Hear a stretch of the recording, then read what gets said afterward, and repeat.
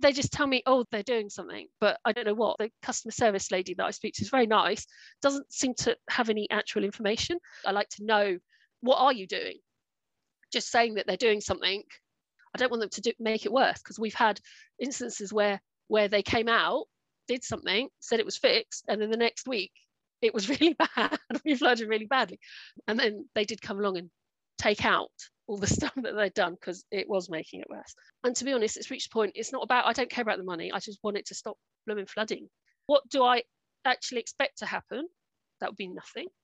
What do I hope will happen is that they fix it. So when people use the toilet, it just gets taken away by Thames Water and doesn't reappear on my driveway. I don't think I'm asking much, but it does seem that I am asking too much.